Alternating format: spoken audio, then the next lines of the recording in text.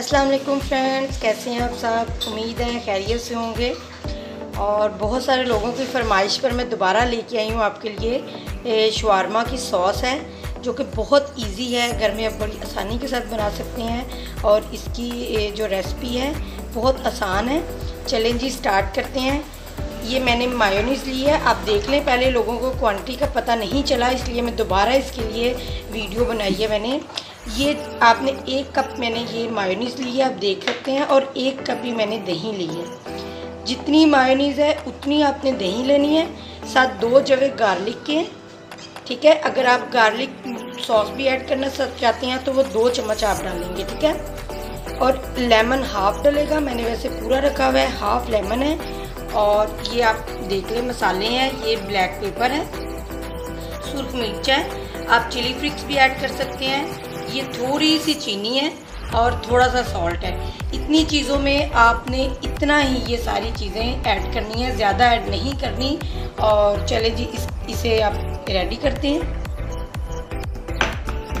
इसे अच्छी तरह से आपने पीस लेना है और बहुत स्मूथली पीसना है ताकि इसके अंदर कोई भी लहसुन का कुछ भी तो ना बिल्कुल पेस्ट बनानी है आपने इसकी।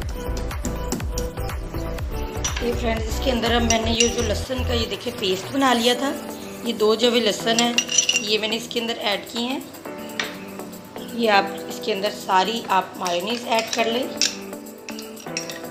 आप इसके अंदर गार्लिक मायोनीज़ बाज़ार से मिलती है वो भी ऐड कर सकते हैं।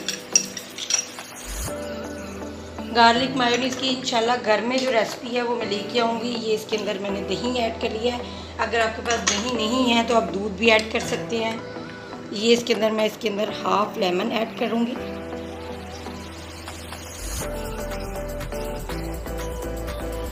ये इसके अंदर सॉल्ट गया है। ये इसके अंदर पेपर गया है।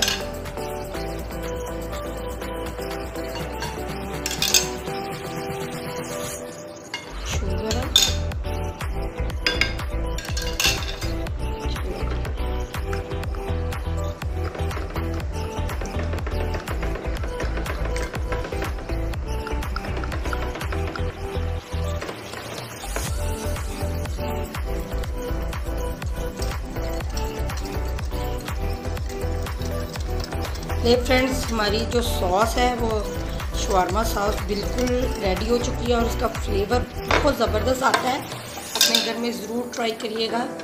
ये देख लें, ये कितनी स्मूथली बनी है। अब ये देखें, ये स्मूथली इसका टेक्सचर चेक करें।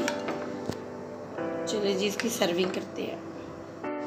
ये फ्रेंड्स सॉस बिल्कुल रेडी है। अपने घर में ज़रूर ट्राई करिएगा। अगर आप कुछ भी पूछना हो तो आप मुझसे मैसेज में पूछ सकते हैं। करिएगा।